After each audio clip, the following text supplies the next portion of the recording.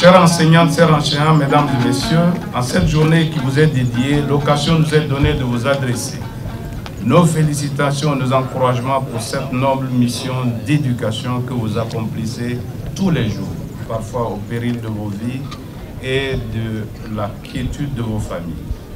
Par cette distinction honorifique que certains d'entre vous recevront, l'État vous traduit toute sa reconnaissance et vous exprime tout son soutien pour ce combat contre l'ignorance que vous menez. Aussi, ces médailles interpellent à ne pas dormir sur nos lauriers afin de travailler davantage, à avoir plus de résultats pour contribuer au développement de notre cher pays qu'est le Burkina Faso. L'État mettra tout en œuvre pour améliorer la qualité de la formation des enseignants, mais également les conditions de travail dans les limites de nos possibilités.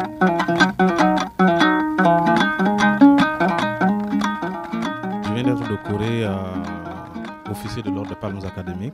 Et je dois dire vraiment que c'est une très très grande satisfaction pour moi. En ce sens que si la nation à un certain moment reconnaît effectivement la petite contribution que j'apporte à l'effort de développement du pays, je ne peux que m'en réjouir. Mais je dirais en fait, au-delà de l'aspect réjouissance, c'est carrément aussi tout un appel, pratiquement à plus de responsabilités, et à voir également, dans la mesure du possible, comment est-ce que nous pouvons servir d'exemple, surtout à la jeune génération qui nous suit. C'est un honneur.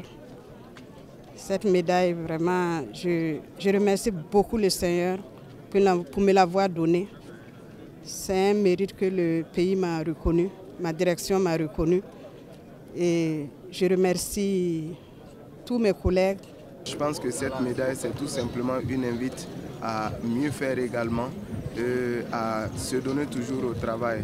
Et nous dédions cette médaille à, à nos parents, à toute la famille, et à nos collègues de service, à tous les chargés de communication des universités publiques et du ministère de l'enseignement supérieur, de la recherche et de l'innovation. Cette médaille-là, en fait, signifie que tous les efforts que moi et mes, mes collaborateurs nous faisons au quotidien sont reconnus euh, aux yeux du gouvernement, du ministère de l'Éducation et c'est une, une, très grande fierté pour nous.